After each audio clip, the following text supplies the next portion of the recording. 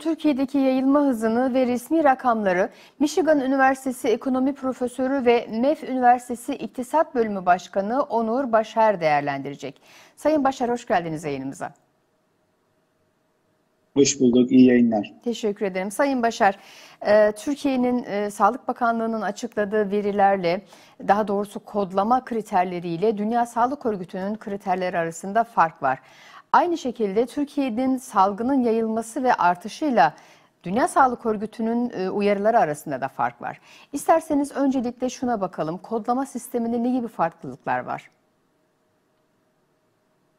Evet, şimdi Dünya Sağlık Örgütü'nün verdiği kodlamalara göre bizim e, yaptığımız kodlamalar arasında e, ki farklar e, bizim e, sayılarımızla diğer dünya ülkelerindeki sayıların karşılaştırılmasını engelliyorlar. E, özellikle e, bu kodlama farkından dolayı e, ölüm oranlarında da büyük farklar çıkıyor.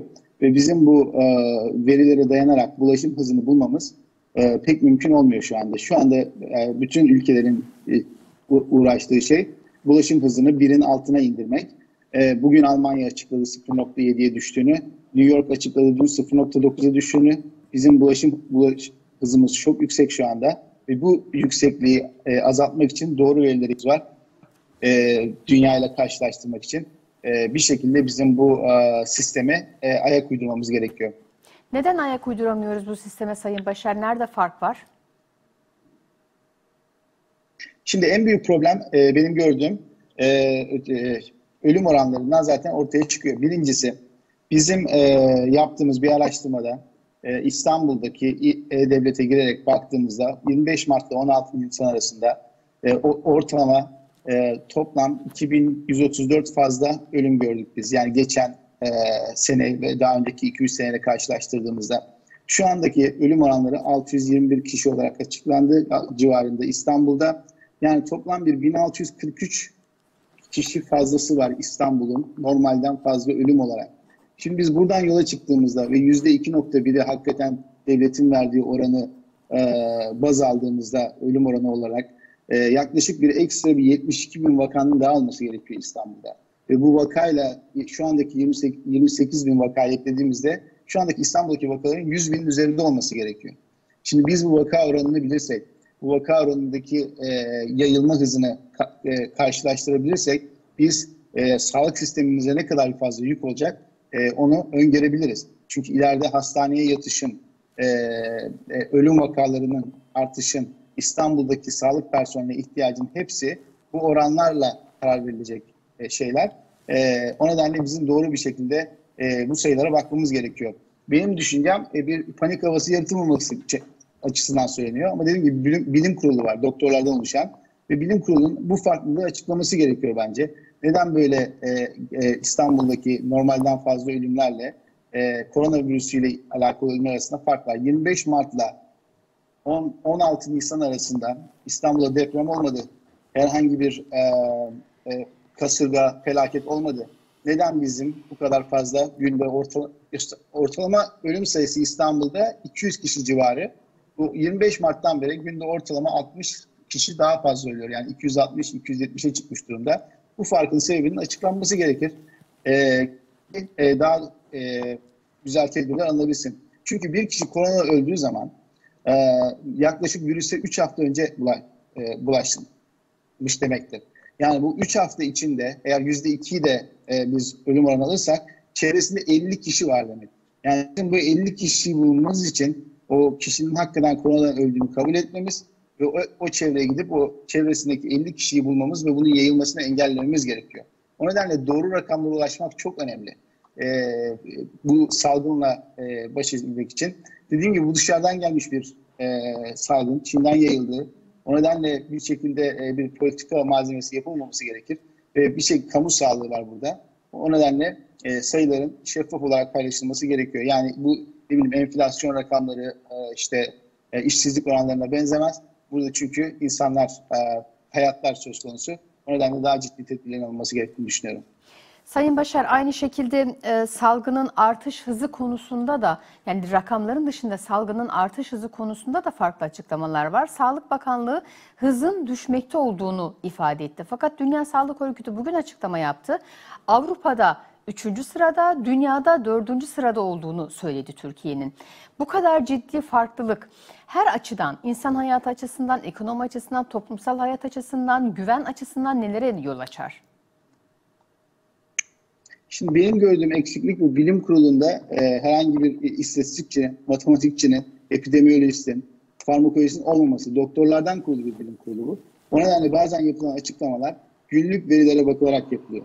Örneğin bu azalmalara baktığımız zaman 3 günün ortalamasını alarak bakılması gerekir. Çünkü gün içinde günden güne değişiklikler olacaktır. Eğer bu artışı bulabilmemiz için bizim böyle 3 günlük e, ortalamaları alarak ilerlememiz gerekir.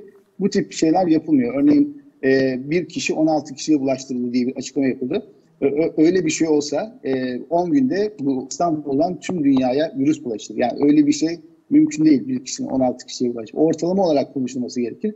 Bu da yaklaşık 2.6 bu şu anda e, örneğin Çin'de Wuhan kentinde. Bunu işte Almanya'ya 0.7'ye, New York'ta 0.9'a düşürdü. Bunun için de bu sayı aslında çok basit görülse de 4 tane bileşeni var bu sayının. Birincisi e, virüsü taşıyan kişi ne kadardır virüsü taşıyor? Bu işte 7 ile 14 gün arası. Bunu biliyoruz. İkincisi her gün virüsü taşıyan kişinin kaç kişiyle temasa geçtiği. Mesela grip çok uzun sürmüyor ama çok insanla temasa geçtiği için yayılma hızı fazla. AIDS mesela çok uzun sürüyor ama çok az e, kişiyle temas yaptığınız için onun yayılma hızı düşük.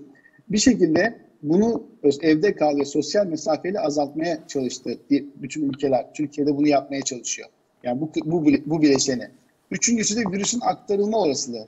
Yani her virüsle olan kişiyle temasa geçtiğimiz zaman virüs bize bulaşmıyor. Onun için işte e, elimizi yıkayalım diyoruz, eldiven takalım diyoruz. Bu da önemli bir bileşken. Dördüncüsü de virüse karşı bizim duyarlılığımız. Yani virüs bize geçti ama vücudumuz bağışıklık sistemi olarak bunu kabul etmiyor. İşte aşılar, tedaviler, e, çıkarılacak tedavilerde bu bileşeni azaltmaya çalışıyor. Şimdi bu dört bileşeni biz çarptığımızda ulaşım hızını buluyoruz. Biz bir şekilde e, sosyal mesafeyi bozarak, e, evde kalmayarak, elleri yıkamayarak bu gördüğümüz görüntüler bizim bu bulaşım hızının çok yüksek olduğunu gösteriyor. Ve bir şekilde e, bu gördüğümüz görüntülerle açıklanan sayıların da tutması gerekiyor ki bu gördüğümüz görüntüleri artık görmeyelim. Yani insanlar panik olmasın diye biz açıklamıyoruz bazı şeyleri ama biraz da aslında korkuyla beraber bu şeylerin e, e, bulaşım hızının azalacağını düşünüyorum. Çünkü insanlar gerçek e, şeyi görmek zorundadır, resmi. Bizim e, e, bunu yani biz en kötüsünü hazırlayalım da e, en iyisi olsun. O şekilde bakmak gerekir. E, e, ama Türkiye'de maalesef bir e, e, panik havası yaratılmamak için çok iyimser açıklamalar e, oluyor. E, ve maalesef burada sayılarla tutmuyor. Eninde sonunda bir şekilde bu sayılar ben açığa çıkacağını düşünüyorum. Şu şekilde e, hastanede olan başvuru sayısının artmasıyla, e, ölüm oranlarının artmasıyla e, maalesef biz bu e, gerçek bizim yüzümüze ileride çarpabilir. O nedenle çok ciddi bir şekilde önlemlerin arttırılması gerekiyor. Sayın Başar siz ekonomi profesörüsünüz. Şunu sormak isterim size. Ee, bakanın açıklaması var. Daha doğrusu Fahrettin Koca'nın açıklaması vardı. Sokağa çıkma yasağının tamamen ilan edilmesi, yurt genelinde ilan edilmesi ekonomik açıdan büyük tahribatlara neden olur diyordu. Ee, bu argüman e, sıkça dile getiriliyor. Ee, bilimsel temelleri vardır ya da yoktur. Ben bunu size sormak istiyorum. Bir yandan böyle bir pandemiyle mücadele edilirken, can kaybı bu kadar yüksek olurken, hayat neredeyse durmuşken ama bir yanda da e, ekonomik gerekçelerle bunun e, salgının yayılma hızının kesilmemesi nasıl bağlanır, nerelerle açıklanır? Siz bu konuda neler söylersiniz? Şimdi e, sağlıksız insanlarla sağlıklı bir ekonomi kurmamız mümkün değil. O nedenle birincisi kamu sağlığını e, öncelikli olması gerekir. Yani bizim şu anda tek derdimizin insan sağlığını korumak olması gerekir. E, biz mesela Türkiye Türkiye'ye baktığımız zaman e, en çok resmi tatil olan ikinci ülkeyi Slovakya'dan sonra. Yani biz sürekli çalışan, e, her gün çalışan bir ekonomiye sahip değiliz aslında. Mesela bu gelişmeler, bizim önümüzdeki şu iki hafta çok önemliydi. E, ben daha önce de e, açıklamıştım. 20, 21 Nisan haftasında e, bu sayı çok yükseğe çıkacak ve oradan e, o sayıyı ne kadar azaltırsak o kadar iyi olur demiştim. Şu iki hafta e, çok önemli. O nedenle sokağa çıkma yasağı verilip belki resmi tatillerin ortadan kaldırılmasıyla e, biz e, ekonomiye olan yükü e, azaltabiliriz. E, bir şekilde e, tabii ki ekonominin çalışması gerekiyor e, bu sistemi yürütmek için. Ama bunun daha az maliyetli yapılabilme ihtimali var. Bazı bölgelerimiz çok sıkışık, bazı e, şeylerde e, çok fazla yo yoğunluk var.